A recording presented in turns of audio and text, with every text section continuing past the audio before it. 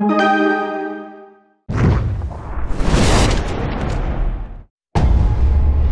blindly traverse these tainted lands, grasping at shadows.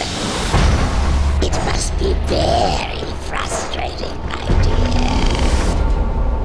But you will know when I want you to know.